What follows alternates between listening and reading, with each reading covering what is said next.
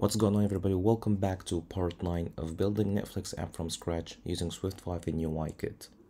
In this part, we're going to be working with the top search tab, but before we do so, I just wanted to fix something really quick regarding the upcoming tab, and basically um, each poster over here is overflowing the container. So as you can see, we don't see the padding that we specified for each poster. So let me just fix that really quick. So let's just fire up Xcode and make sure that you're in the title table view cell file. Just go to the poster and type image view clips to bounds and set that to true. And that will prevent each poster from overflowing the container.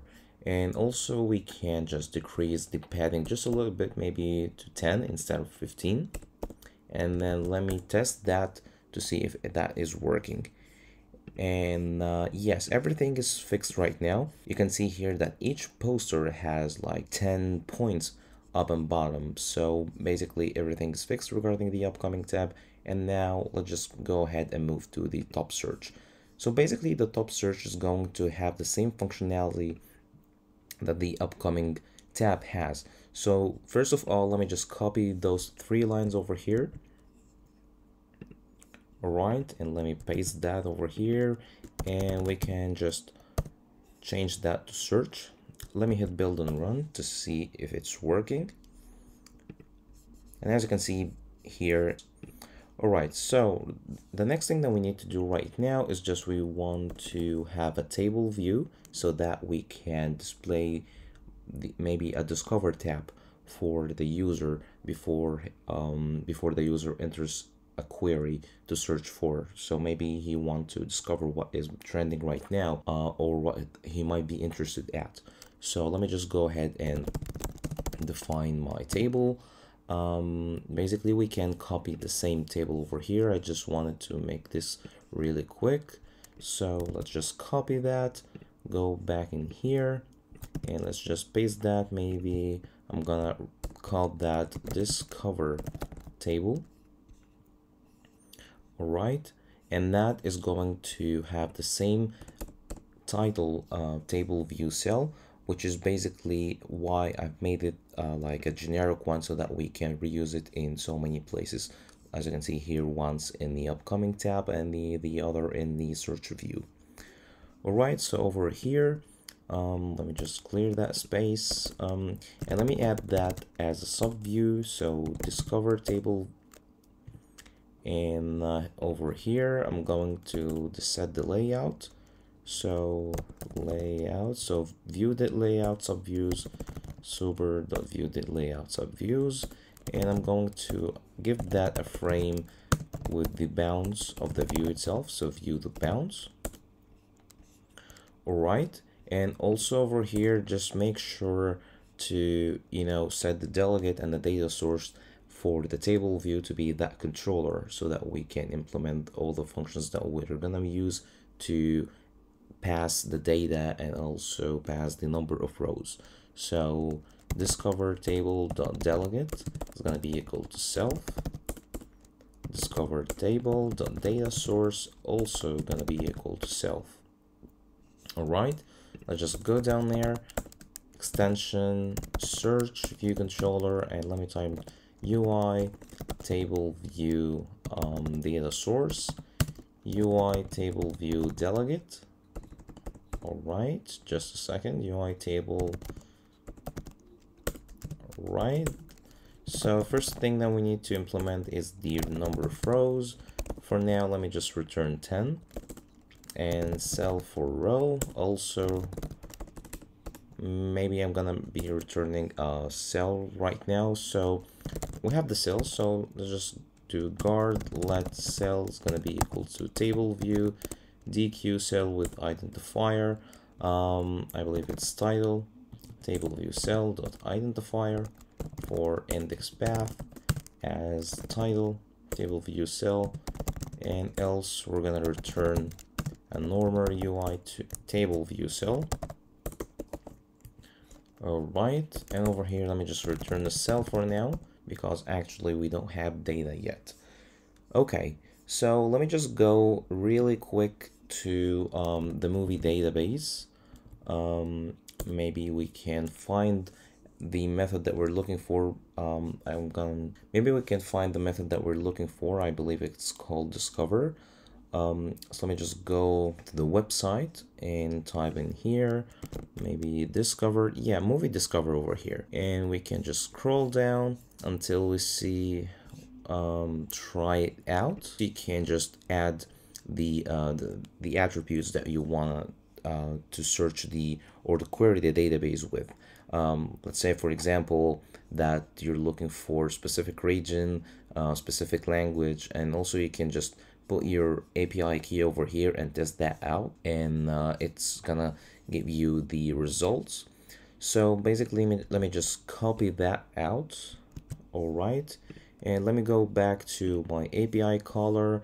We're gonna add a new function over here. All right. So let me just type func get discover movies. All right.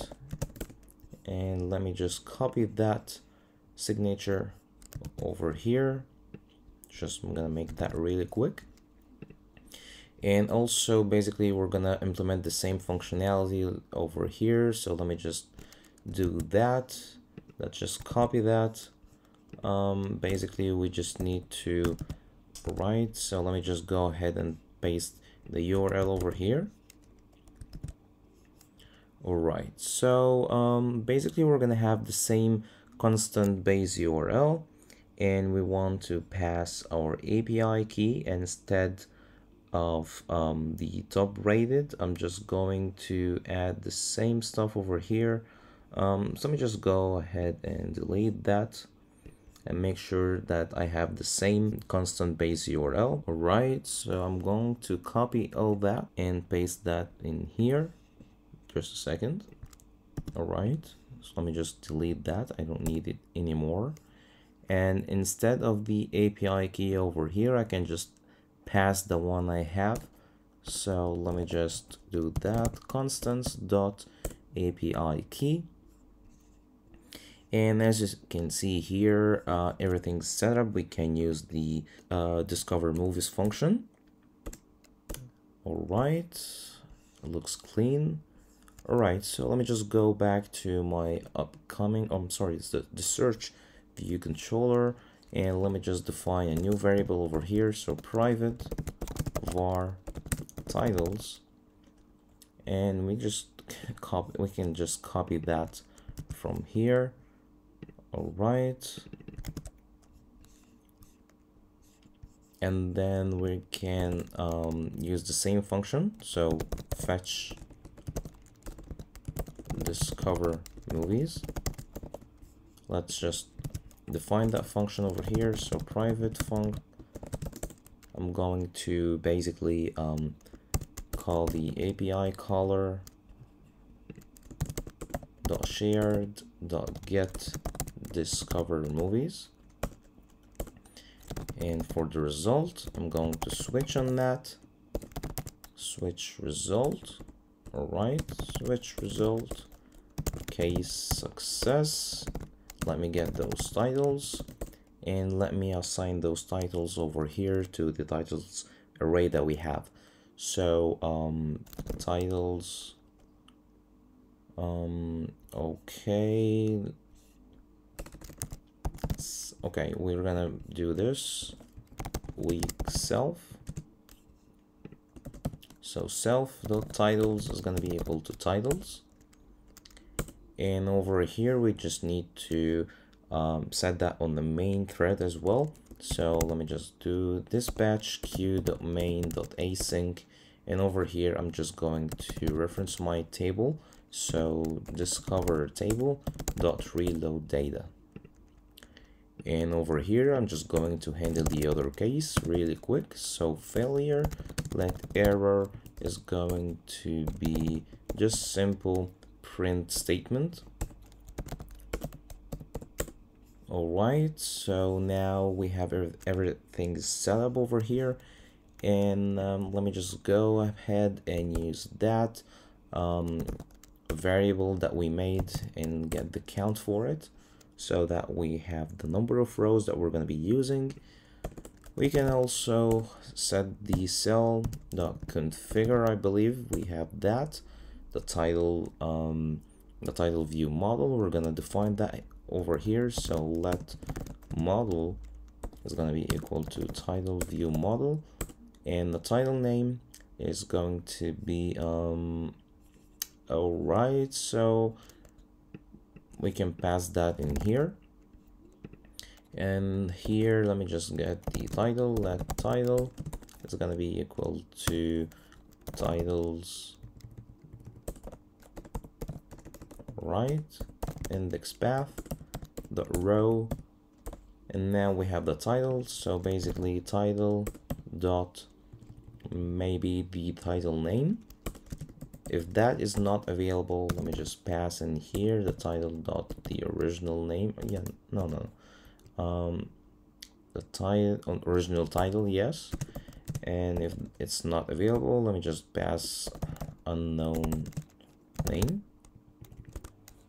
and over here let me just pass in the poster path all right so everything's set up over here and um, yeah let me just add um, a default empty string over here because that is going to be an optional. And before we hit build and run, um, let me just fix something really quick before we get the same error that we had before with the um, with this with the upcoming view controller, basically, which is the height for row. And let's just return the same number that we returned at the upcoming view controller, which is 140. So let me just return 140 let me just hit build and run and let me see the results that we get so far. Alright, so the home controller working fine. The upcoming tab is also working fine and the search tab is also working fine. So that's it for this tutorial. So if you liked this video, please hit that like button and consider subscribing to my channel. That would mean a lot to me. So again, at the end, please have a good day and stay safe.